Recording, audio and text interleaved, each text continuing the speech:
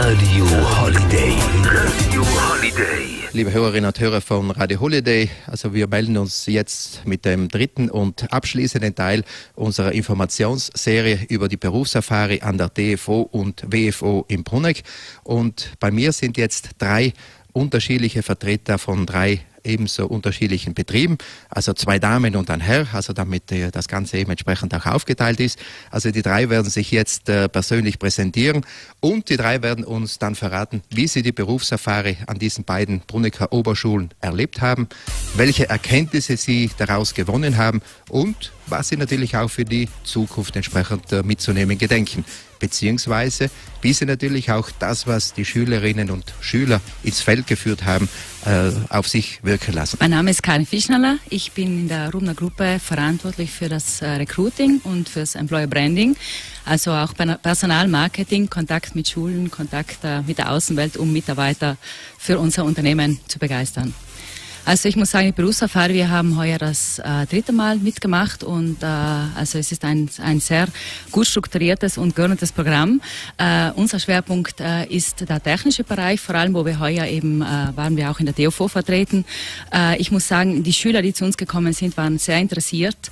Wir haben auch versucht, ihnen einfach technische Informationen zu übermitteln. Wir haben einige Projekte gezeigt, wir haben technische Elemente aufgebaut, wo wir ihnen einfach die technischen Thematiken in unseren Unternehmen zeigen konnten vor allem unser Schwerpunkt Maschinenbau äh, und Elektrotechnik. Und ich glaube, es ist uns sehr gut gelungen, äh, den äh, Schülern äh, zu zeigen, was wir alles bieten können im Unternehmen.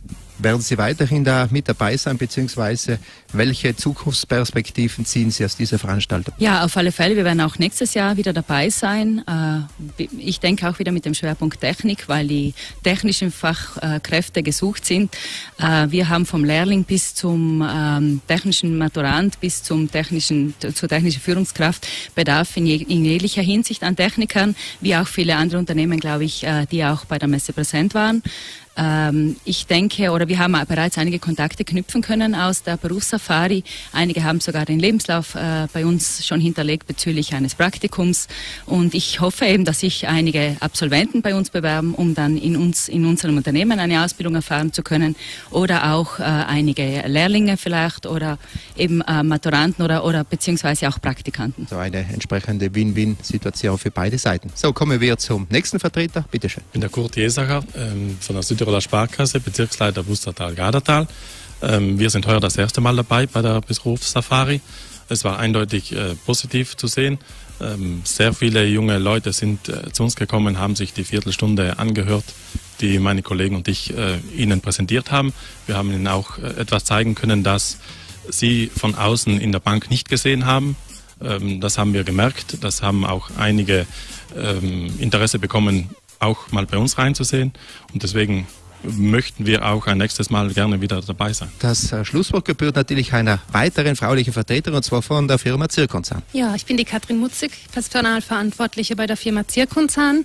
Und auch für uns war die Berufssafari eine sehr gelungene Veranstaltung, weil für uns ist es immer wichtig, einen Blick hinter die Kulissen zu gewähren, dass einfach die Jugendlichen Einblicke bekommen, was kann ich später machen, wieso gehe ich eigentlich zur Schule, was, hat es, was macht es Sinn, macht es keinen Sinn oder in welche Richtung Richtung möchte ich mich vielleicht entwickeln? Wie kann ich später mein angehäuftes Wissen in die Praxis umsetzen? Das ist für uns ein ganz, ganz wichtiger Aspekt, zu zeigen, wir haben schöne Unternehmen in Südtirol, tolle Aufgaben, tolle Projekte, innovative Projekte und jeder kann ein Teil davon sein über verschiedene Möglichkeiten, über Sommerjob, über Schulpraktika, danach natürlich als Berufseinstieg, sei es nach der Matura, sei es nach dem Studium, gibt es verschiedenste Wege hier in Südtirol und wichtig einfach als Appell an die Jugendlichen auch, setzt euch dahinter, wisst, warum ihr es tut, dann macht es nachher Sinn. Also noch äh, kurze Frage, kurze Antwort äh, zum Schluss. Äh, also was die Zukunftsperspektiven betrifft. Also wir haben ja einiges gehört, sowohl von den Schülerinnen und Schülern als auch also von den Firmenvertretern. Also wie sehen Sie das? Also soll an diesem Format der Berufserfahrung etwas verändert werden? Soll das so beibehalten werden? Soll das auch weiterhin so durchgeführt werden? Also aus unserer Sicht sollte es sicher so weitergeführt werden. Es war sehr professionell. Sicherlich war es jetzt die dritte Ausgabe. Man hat aus den vergangenen Jahren gelernt. Es war sehr gut organisiert organisiert. Die Jugendlichen und auch die Lehrer waren sehr gut vorbereitet. Es hat sehr viel Spaß gemacht und insofern sollte man daran festhalten und vielleicht auch auf andere Schule übertragen. Das heißt, andere könnten vielleicht in ihrer eigenen Schule ähnliche Projekte auch durchführen. Und mit dieser Adelung, also der beiden Oberschulen, also gebe ich wieder zurück ins Hauptstudio. Das war's, also das war der dritte Teil, also als Informationsserie über die Berufssafari. Reinhard Weger sagt Dankeschön und gibt damit wieder zurück ins Hauptstudio.